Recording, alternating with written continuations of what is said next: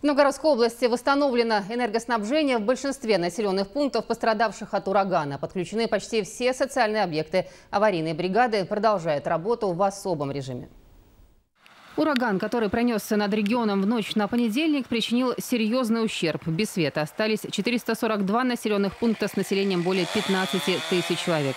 Уже накануне вечером энергетики запитали большую часть обесточенных трансформаторных подстанций. Новгородская мобильная группировка усилена пятью бригадами специалистов из Россети Ленэнерго. Помощь оказывают лесничие и сотрудники МЧС. Восстановление оборванных линий электропередач обычно ведется в отдаленных и малодоступных лесных участках. Работа Работа очень тяжелая и быстро ликвидировать все обрывы невозможно.